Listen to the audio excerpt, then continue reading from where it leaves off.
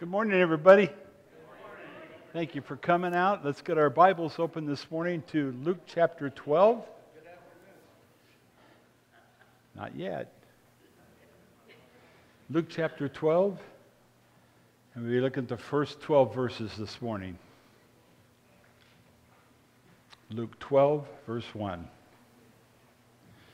And Lord, we want to thank you for this beautiful day you've given to us.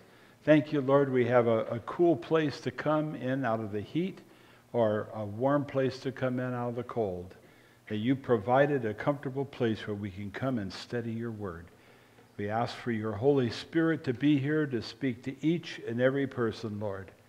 And I pray today if there's anybody here that doesn't know you and has not invited you into their heart as of yet, that today would be the day they'd make that decision. We pray for this now in Jesus' name. Amen. Just as I was beginning to, to teach for service, a thought came to my mind about when my kids were little. Well, actually, they weren't little, they were teenagers and they were graduating from high school. And they had these ideas of what they were going to do with their life after that. And as a parent, you're concerned about those decisions. I'm still concerned about the decisions my kids make, and they're in their 30s now. But I imagine Jesus here, these are the last weeks of his life, and he's concerned about whether his disciples are really going to adhere to the teachings that he's given them. When he's speaking here to this Pharisee, to the scribes, and to the religious leaders that are all there in this Pharisee's house, and every one of them were filled with hypocrisy, and they were doing things that uh, God would not approve of. And so, here, this picture we pick up today, I want you to have that in the back of your mind that we're weeks away from the cross. And Jesus here is wanting to really ingrain into the minds of his disciples to not be like these Pharisees, the scribes, and the lawyers who were the religious interpreters of the law of Moses. So keep that in mind. Now, we left off last time with the Lord being invited into this Pharisee's home for dinner. Of course, it turned ugly when the Lord began to correct all these various religious leaders. He would begin by saying to them, Woe unto you, Pharisees! Woe unto you, scribes! Woe unto you, lawyers! Because they knew what they were supposed to teach, and yet they weren't living it themselves. And so now, today, we turn our attention to uh, the outside of the house, as we're told that these religious leaders are kind of ganging up on the Lord now. Now, when you're confronted in a sin, you really have two decisions. You can either rebel against the correction or you can humble yourself right? And so here he's sharing with these religious leaders what's going on here that is not hidden and that he knew what was happening, and yet they attack him. So while this is going on, we pick up in verse 1, it says, In the meantime, when an innumerable multitude of people had gathered together so that they were trampling one another, he began to say to his disciples, first of all. So pay attention here. These are important things. These are last words that he's sharing with his disciples that we need to pay attention to. He says, Beware of the leaven of the Pharisees, which is hypocrisy. For there is nothing covered that will not be revealed, nor anything hidden that will not be known. Therefore, whatever you have spoken in the dark, it's going to be heard in the light. And whatever you've spoken in the ear in the inner rooms is going to be proclaimed on the housetops. Now, understand, it was common during the time of Christ that people who were not invited to be part of a dinner, they were allowed to go into an inner court area and stand and listen to the conversations that might be going on around the table. Excuse me. Also, they had the windows open and people could hear what was happening from outside. Well, while the Lord is rebuking these religious leaders, I wonder how many people are thinking, finally, someone finally someone's going after these guys. I've been thinking this all along, but didn't have the guts to do it. And they're watching this happen. And so the Lord warns them. And apparently, this large amount of people, they were trampling each other. Now, the Lord gives his disciples a warning about the perils of growing popular, of being successful, to not be like the religious leaders. It's so easy when you're around somebody else who misuses their power to influence you to also misuse your power. And so he warns them not to be like this. Beware, he says, of the leaven of the Pharisees, which is hypocrisy, because nothing covered is not going to be revealed. That's something for us to understand today. Let me tell you. You may have some secret kind of sin going on, and you might be able to keep it from people around you, but it will be revealed. And you may have a secret that nobody around you knows, but God knows. There's no secret kept from the Lord. And there's a danger to watch out for when things seem to be going well in your life or ministry to be tempted for yourself to become a hypocrite. Did you know? They talk about little white lies. People who begin to tell little white lies become colorblind. And the lies change, and they're no longer little white lies. They're now gray lies. And they become to where it's such a habit in your life, you don't even know how to tell the truth anymore. My dad used to say there are people who will crawl up on top of a ladder to tell a lie rather than stand on the ground and tell the truth. And it's true. There are people who go out of their way to tell lies rather than just tell you the truth. Maybe their life is boring. They want to spice it up some, so they'll make up some story so it sounds interesting. But whatever it is, it may start off simple, but it becomes very complicated in a short period of time.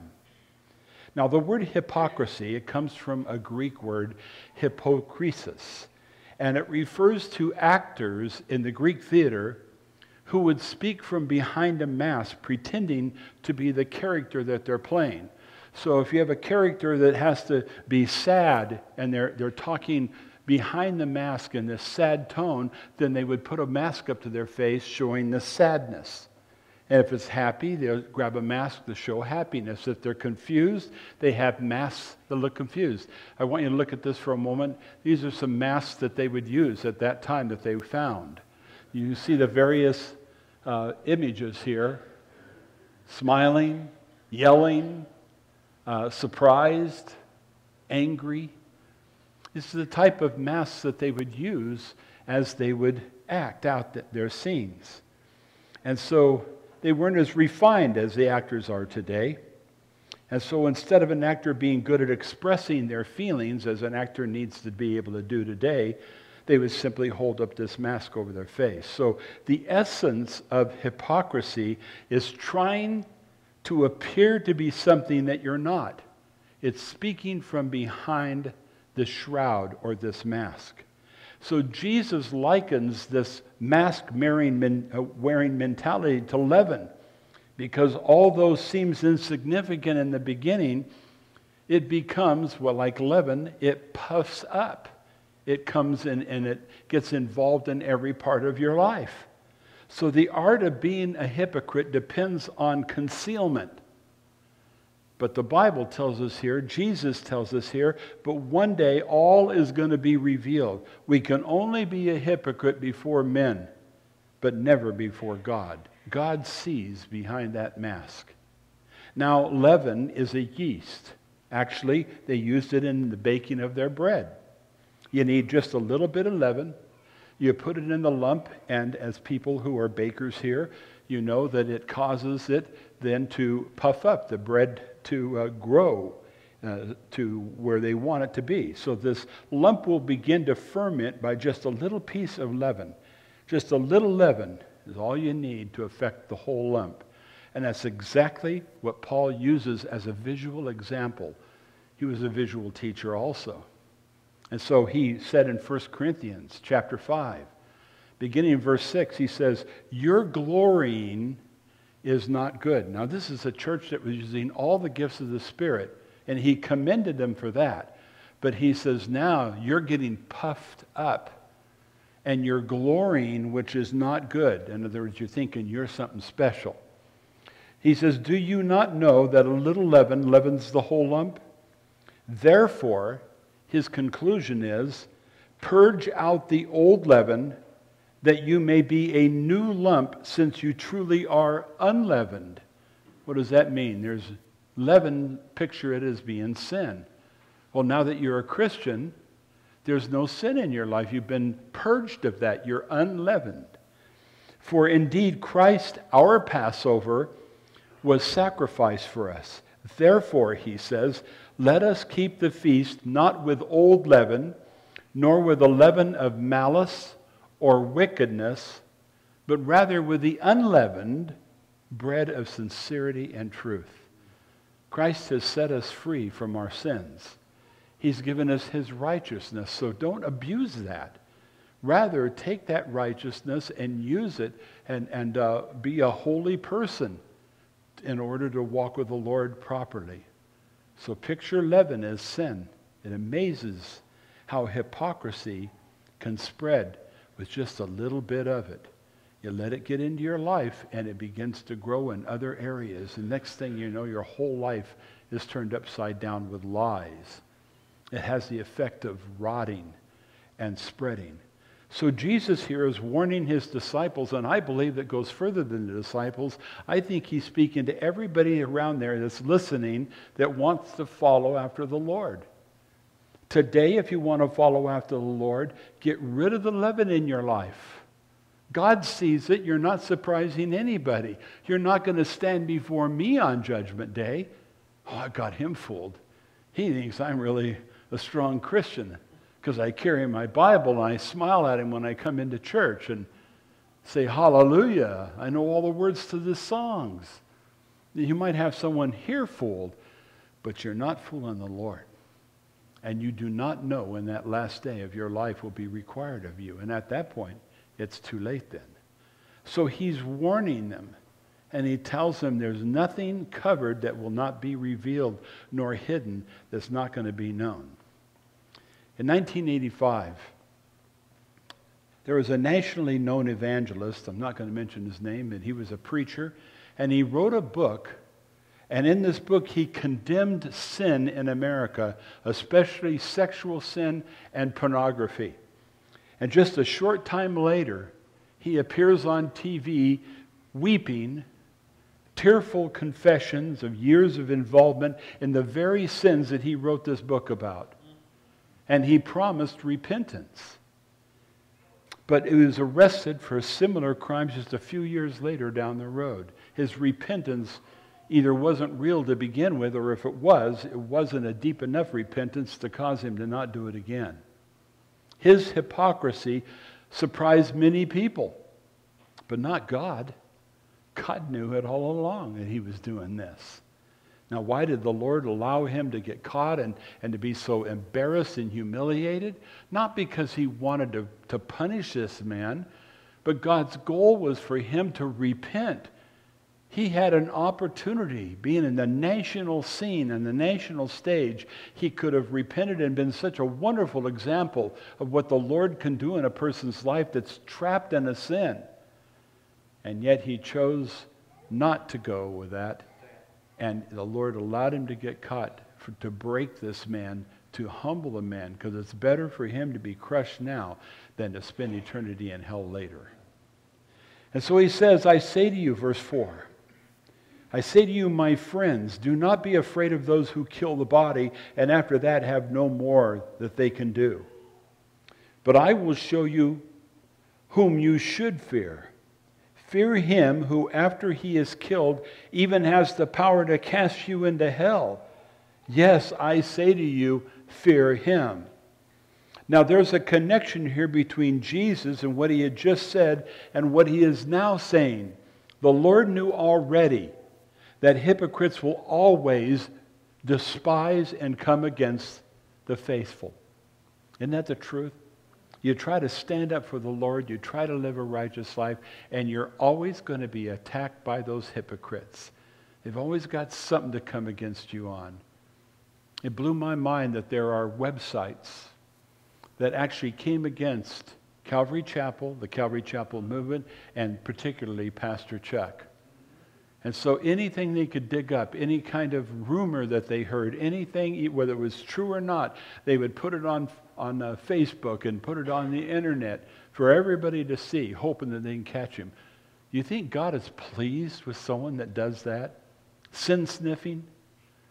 Going after other people? I wonder what sins they have in their life that they wouldn't want revealed.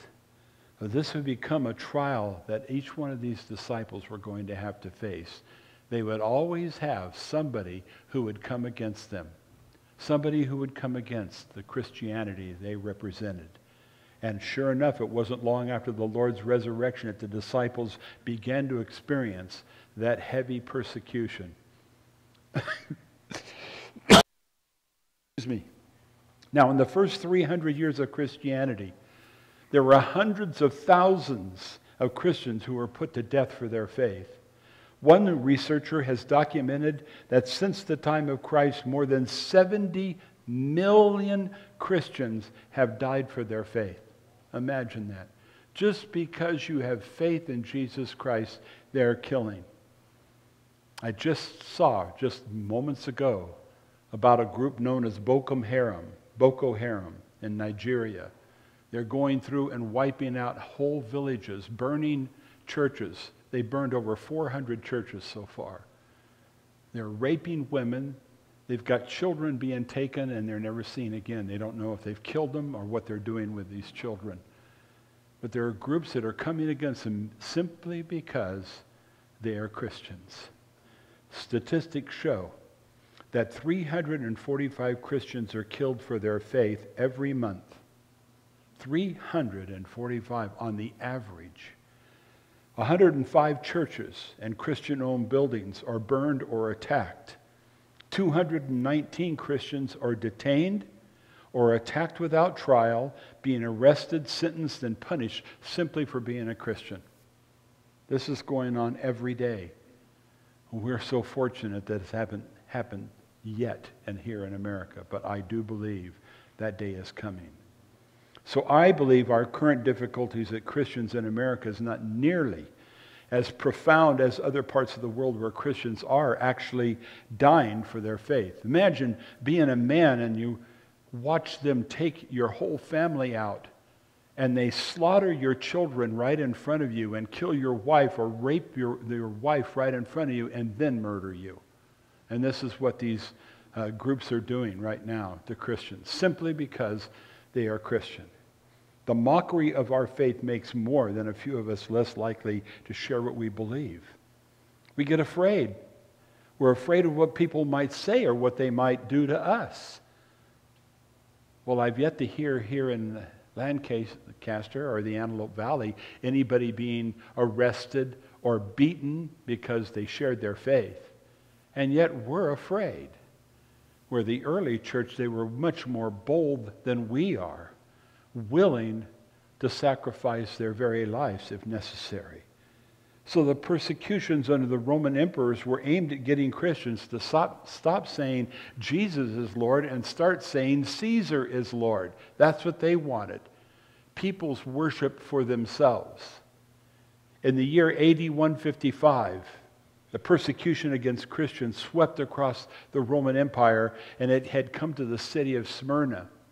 Now, the proconsul of Smyrna, swept up in the persecution, put out an order that the bishop of Smyrna, Polycarp, was to be found, arrested, and brought to the public arena for execution. Well, they found Polycarp. They brought him before the thousands of these spectators who were screaming for his blood. But the proconsul had compassion on this man. He was almost 100 years old at this point. Imagine bringing a 100 year old man and accusing him of all of these crimes. And all these people, all these people screaming for this old man's blood. He signaled for the crowd to be silent, and Polycarp said, Curse Christ, and I'll let you live. And an amazing response, he responded and said, 80 and six years I have served my Lord. He has done me no wrong.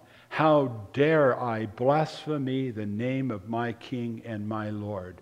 And with that, they burned him at the stake. That's some boldness for Christ. And we complain because a coworker called us a name because we're a Christian. We need bold people willing to make a stand today. And Jesus said, Don't worry about what they're going to do to you. And fortunately, we haven't faced that kind of persecution where we need to worry. The worst thing that's ever happened to me in sharing my faith was I was looked over for a promotion. It was given to somebody else. And I just said, Well, Lord, you know what that's all about. You know what happened. You, you know why this happened. And God promoted me later in the right time and put me in the right place and promoted me further than I ever expected to go. Jesus taught us in Matthew 5 14 through 16, and we studied this already. You are the light of the world, a city that's set on a hill. And he says it's not to be hidden. It's not to be hidden. That's speaking to us. Don't hide the light that you're supposed to be. God put you in the positions that you're in so that you will be a light to others. Nor do they light a lamp and put it under a basket, but on a lampstand. And it gives light to all who are in that house. Let your light, let this speak to you today, Christian. Let your light so shine before men that they may see your good works and glorify your Father in heaven. It doesn't say that they may hear your preaching but rather let them see your good works and glorify your Father in heaven. Oh, what a wonderful thing when somebody really lives for the Lord. They're the first ones at work, last ones to leave, do a great job, work all day long hard, and people say, you know, they're a real Christian. I've heard plenty of people say, and they say they're a Christian. I've heard those comments, haven't you? I was even talking to my secretary the other day, and I said, you know what? And when I see a business card that's got a fish sticker on it, I almost don't even want to call them anymore.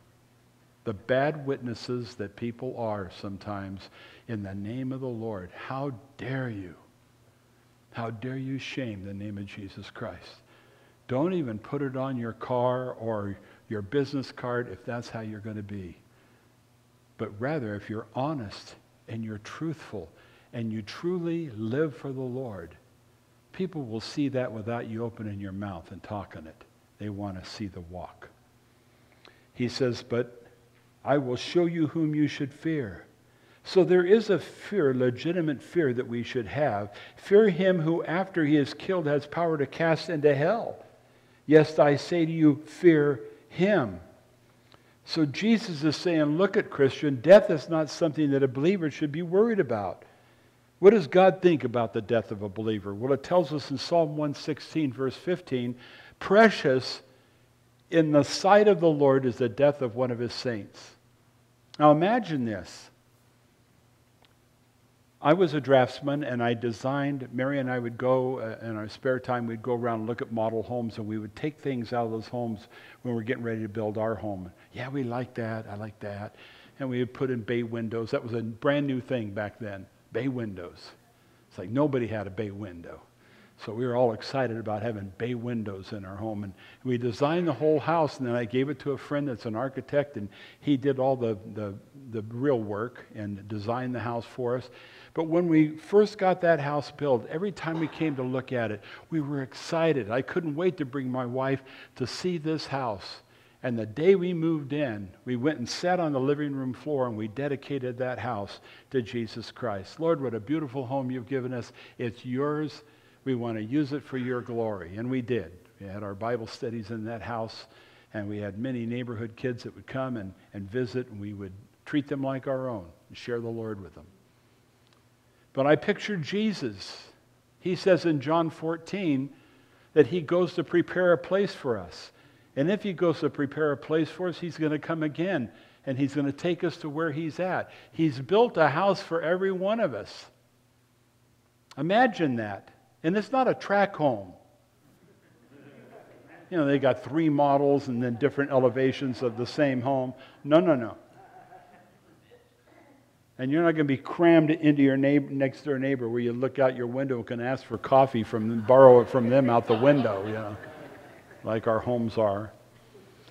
But God has prepared this beautiful place, a mansion for you and I. And God is anxious. The Lord is anxious for us to come to Him and for Him to show us our new, our new hood. this is a new place He's provided for us. How beautiful that is. There's the thought, and He's looking forward to that day. So as we grieve when we lose somebody, there's not grieving going on in heaven, but rather the Lord is welcoming that person into heaven. Oh, to hear, well done, thou good and faithful servant. How he longs, and it says here, how precious it is to the Lord for the death of one of his saints. So we don't need to fear dying at this end because that's not the end of life for the believer. In fact, that's, not, that's just the beginning of living. Our time here on this earth is short no matter how old you are. But eternity with the Lord in heaven is going to be off the charts. Now, the Apostle Paul tells us in 2 Corinthians 5 8, to be absent from the body is to be present with the Lord. So when our time comes, the Lord will take us home, and his promise will then be fulfilled. We'll be with him in paradise forever. That promise is made in John 14. He's gone to prepare a place for each one of us. So in verse 5, he says, Listen, fear him who, after he is killed, has power to cast into hell. Yes, I say to you, fear him. Satan does not have any authority. He cannot make a decision of where you're going to spend eternity. God makes that decision, and only God. He's given that privilege to his son, Jesus Christ. Now, this is not some party place. A lot of people I hear, oh man, we're going to have a, a big keg or a party down in hell, man. Cabo Wabo. And then, you, you know, it's not going to be on the beach in Mexico. Jimmy Buffett's not going to be playing with his band. This is how they try to picture this. But we're told that hell is an everlasting fire that's been prepared for Satan and his demons. God doesn't want people to go there. But contrary to people's thinking, it's not going to be these things. Hell is an eternal place of torment, of darkness, reserved for Satan and his demons. The Bible tells us there's going to be gnashing of teeth and complete isolation with an eternal fire. Have you ever been in utter darkness? There's some caverns out near the river we took our kids to on a field trip one time, homeschool. And we got out there, I think Mitchell Caverns, is that right, Mary? Does that sound right? I think it's Mitchell Caverns. And you go out there and at one point they take you into this uh, inner area and they turn the lights off and they have you stand there in utter and your eyes will never adjust to it. It's it's complete darkness. No light whatsoever. And it gets in the very beginning it's kind of like oh this is kind of cool. And then you start thinking turn the light back on this is getting really scary. I don't like this. And when they turn it back on, you almost feel a sigh of breath of relief. Imagine being in utter darkness like that for eternity. It's the ultimate death, the ultimate separation from God. So don't fear what man might be able to do. Jesus says, Fear the Lord who has the ability to place you in heaven or hell. Make sure that your reservation is made in heaven. I know that there is a lot and track number with my name on it. And I'm excited about that. Now he goes on and says, Are not five sparrows sold for two copper coins, and not one of them is forgotten before God? But the very hairs on your head are all numbered. No jokes here. Do not fear, therefore, you are more valuable than many sparrows. So in Jesus' day, you could go to a marketplace and you could buy five little birds for two copper coins. That would be the equivalency today of about 10 bucks. Now, just yesterday, after the senior study here, I had to go get lunch, and then I was going to go back to the office and study for next week for sunrise service. And I pulled into a Taco Bell, and I was there, and I saw these little sparrows flying around. And I looked at them, and I thought, you know, they aren't significant birds. They don't have beautiful colors or anything. They're, they're, they're little tiny things. And you think they really have little value, don't they? And yet God knows every one of those birds, every one of them. And you're more valuable than all these birds that he already knows the name of. He knows how many feathers are on that bird. And he's saying, I know how many hairs you even have on your head. This is an amazing thing to think about. Of course, we all know that God created the perfect head without hair. All the others he had to put hair on top of to cover up the, the ugliness.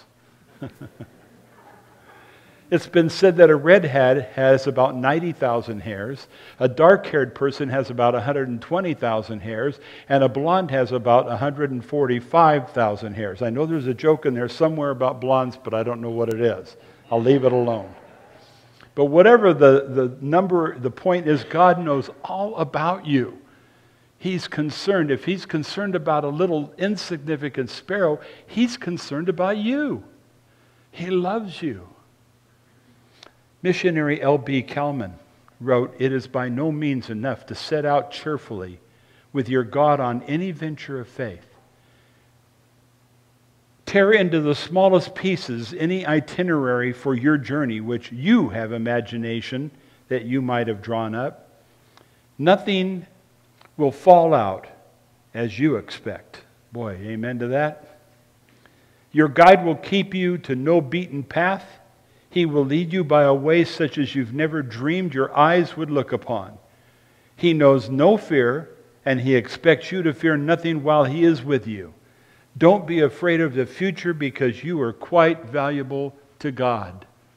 So God is with you. He's taken you on this venture. I think about again my marrying my wife. She was born the other side of the United States. And out of all the people in the world, he brings her and she moves into a triplex and brings me, born in San Bernardino, a, a local uh, birth there, and moves me into the back apartment of the triplex, and I end up marrying the girl next door.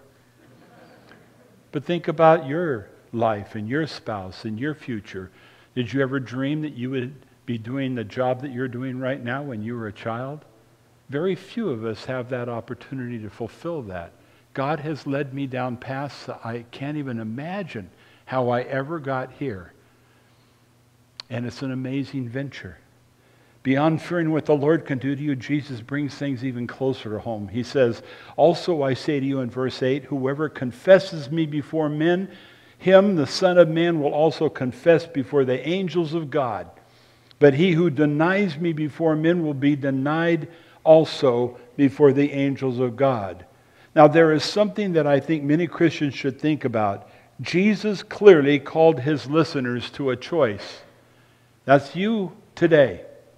Jesus is only weeks away from the cross, and he's calling those who choose to follow him to stand up and to be counted. It doesn't matter if you make a confession by coming forward at an altar call, that is confessing before man, but it's beyond those doors how you live your life each day of each week. Do people know that you're a Christian? Or is that hidden? I remember the old commercial on TV. Only your hairdresser knows for sure. Remember the Lady Clairol? I, I remember it. But are you that kind of Christian? Nobody knows? You keep that a secret? This is what the Lord is saying here. If you're willing to confess me before other men, I'll confess you before my Father in heaven and the angels of heaven. But if you're not, okay, then I won't confess you before the angels of heaven either. So this is an important decision that you have to make. He goes on, and anyone who speaks a word against the Son of Man, it will be forgiven him. But to him who blasphemies against the Holy Spirit, well, it will not be forgiven. Well, what an interesting statement. Many believers don't understand what he's even saying here. When a man blasphemes with his mouth, that is not the thing that condemns him to hell. There are people, even myself, that said terrible things about the Lord before I was a Christian. But when you blaspheme against the Holy Spirit, his job is to draw you to the Lord. And when you refuse the Holy Spirit, and the Holy Spirit's work in your life, when you reject it and reject it and reject it, your heart each time is calloused from that, like playing guitar. You get calluses on your fingers from playing. And the more you reject the Lord, the more calluses you build up over your heart to a place where finally there is no conviction of the Holy Spirit. Now, praise God, none of us knows who has done that, but God does. And when that place comes, when that time comes, when you've completely hardened your heart, and God knows, then He'll remove the Holy Spirit from drawing you to the Lord. And at that point, you cannot be saved. What a thought. The blasphemy of the Holy Spirit will never be forgiven. Not because it's a sin too big for God to forgive, but because it's an attitude of your heart that now cares nothing nothing for the forgiveness that Jesus Christ brings. So he says, Now when they bring you to the synagogues and magistrates and the authorities, he says, Don't worry about how or what you should answer or what you should say, for the Holy Spirit will teach you at that very hour what you ought to say. So he spoke these words to men who were going to be facing those exact, exact challenges. And we have evidence of this in the book of Acts. Peter was brought before the Sanhedrin. And he didn't go and work out some kind of great discourse that he was going to say before this group of men. The Holy Spirit, we're told, gave him utterance. And what was amazing was they could not even respond to what Peter told them. They were speechless. When Paul appeared before kings and governors and even high priests, it was no worked up message that he gave. We're told that it was in the power of the Holy Spirit that he made his defense in an unanswerable way. They didn't know what to do with them. Thousands upon thousands of people since that time have faced those in power, both in the city hall and in the halls of religion, being challenged and receiving God's sustaining power through the Holy Spirit. Have you ever maybe had that opportunity where God just began to give you the things to say? I've had it happen in Bible study, in counseling. Oftentimes you, you think, okay, somebody's telling you something, and the Lord puts a scripture on your heart. Wasn't thinking of that at the moment, but here it is. And it's a scripture that applies to their situation. The Holy Spirit gives you utterance as you need it. That's the work the Holy Spirit will do in your life. Peter in 1 Peter 3 15, he says, Sanctify the Lord God in your hearts and always be ready to give a defense to everyone who asks you a reason for the hope that is in you. Now, notice what it says here. When I first read this, I thought I had to have an answer and a reason for everything. That's not what it says. Be ready to give a defense to everyone who asks you a reason as to why you have hope. Every one of us should have an answer for that. Why do you have hope? Why do you have hope? Why do you believe in Jesus? Why would you put your faith in that fantasy? You should have an answer for that. Know why you believe what you believe. And he says you're to do this with meekness and fear, having a good conscience, that when they defame you, calling you an evildoer, those who revile you can see your good conduct in Christ, and they're the ones that are ashamed. They have nothing to say about you, so they make it up. This is speaking to someone who's being persecuted. So I want to make it perfectly clear. This is speaking to a pastor or a teacher that you don't have to go and study. The Holy Spirit will give you what to say when the time comes. I actually had a pastor who came in one time and says, I oftentimes uh, haven't got any message. I don't know what the Lord wants me to say, so we just do a praise night. Well, you know what that's called? Laziness. You need to get down and study your word. You can't push it off and have your worship leader uh, pick up and do what you're unable to do because you're too lazy to get in the Word of God. But this is speaking of when you are asked to give a defense, you should have one. Every one of us should know why we're a Christian. Why do you go to church? Why do you believe what you believe? The Holy Spirit will place that scripture in your mind that applies to the subject that you're addressing. Now, I'm counting on the Holy Spirit speaking to me. And I'm open to sharing other stories or scriptures. So sometimes people say, Your second service was very different than your first service. Well, I'm trusting that the Holy Spirit might lead me. If you have a different group of people, maybe they need to hear a different illustration or hear a different story than the one I gave first service. And I'm open to the Spirit of God doing that. The context is the same. I'm not deviating from the text, but the stories I might tell have, may have a, a different story that God wants me to share. I trust the Holy Spirit to do that in my life, and you should too. You don't always have to have a patent little answer. One time when we were at our bookstore over in, in uh, Victorville, the church had a bookstore attached to our offices. We had a guy that came in one time and he says, Hi, I am from da da da da church and da da da da da da da da da da da and he had this memorized script and he was like a robot. And at the end he says, Would you like to receive Christ? And I said, We're Christians. This is a church office.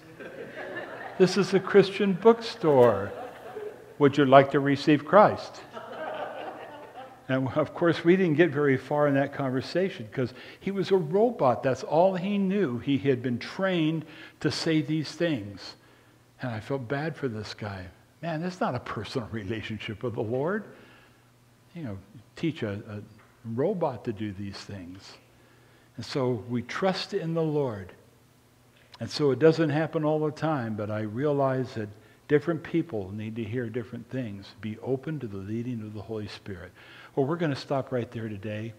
Now, I'd like to say next week we'll pick up in verse 13, but we're going to next week, of course, have Easter.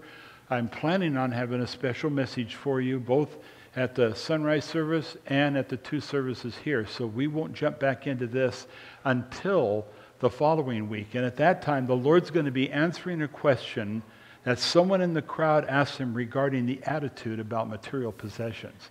That should be interesting to look at. All right, let's pray. Lord, we want to thank you for your word today. Thank you for blessing us. And thank you for calling us to make a stand for you, Lord. I pray that you would empower us this morning to be that light on that hill. Now, don't just ask us, but empower us to do that, Lord. And I pray we would all have a, wonderful experience of sharing our story with somebody near us this very week. And we pray for this and for your blessing on us. In Jesus' name. Amen. Let's all stand.